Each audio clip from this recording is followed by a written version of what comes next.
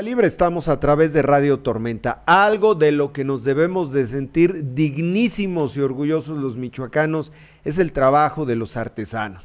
De verdad, ¿eh? aquí para donde uno voltee hay cosas maravillosas, mágicas que debemos de presumir. Y este día, la Casa de las Artesanías del estado de Michoacán, con la finalidad de potencializar las riquezas históricas y culturales de las artesanías michoacanas y, real, está realizando durante todo el año concursos comunales, regionales y estatales de las artesanías.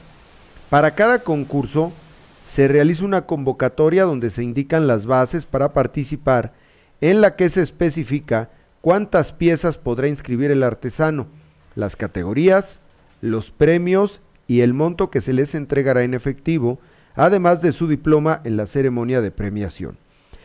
Un concurso estatal fue presentado el día de hoy, el concurso de la comunidad de Charapan, que es un concurso regional de textiles. Es padrísimo esto porque estamos hablando de textil de lana, algodón, de bordados, de algodón eh, deshilado y de rebozo de patacua es algo maravilloso, de verdad. Nos estaban diciendo, por ejemplo, que un buen gabán hecho en Charapan, de lana, 3, 4 mil pesos. También se estará realizando en el mismo municipio el concurso en la comunidad de Ocomicho, mire, de estas artesanías que usted está viendo. Maravillosa imaginación de los artesanos. Alfarería policromada que se estará llevando a cabo el sábado 29 de junio. Ese es en Ocumicho.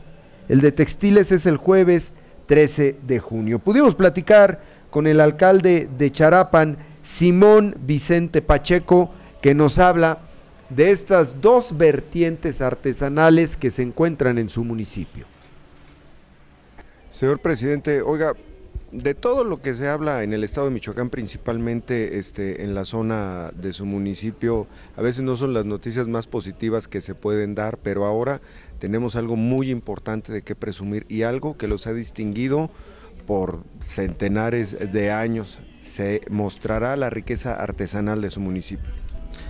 Claro que sí, tienen ustedes mucha razón. Se han hablado en ocasiones algunas cosas malas, los problemas de, la región, pero quiero decirles y dejarles bien claro que más que cosas malas tenemos cosas mucho muy buenas.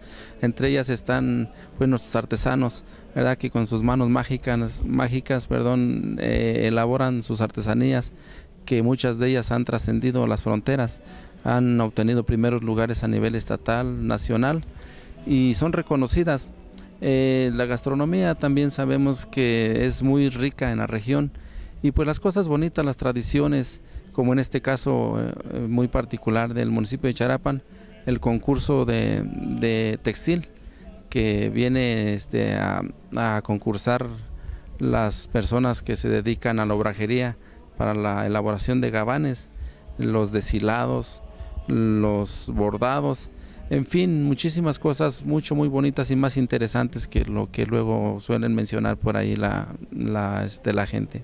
Oiga, ¿por qué hay diablos en Ocumicho?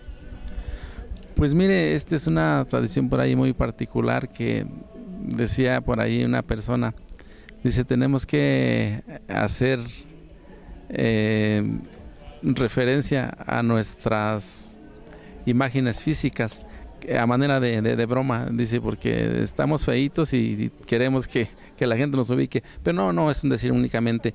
Yo creo que es una manera de, este, de expresar también nuestros sentimientos, nuestra, nuestro sentir de, la región. Y son este, artesanías a la vez también que nos identifican ya de, mucho tiempo, ¿verdad? Y este, ustedes saben a lo mejor que se han obtenido ahí grandes este, lugares o lugares muy destacados en los concursos de estas artesanías que se han hecho y han eh, pasado a concursar a nivel a nivel este república a nivel país y se han obtenido buenos buenos lugares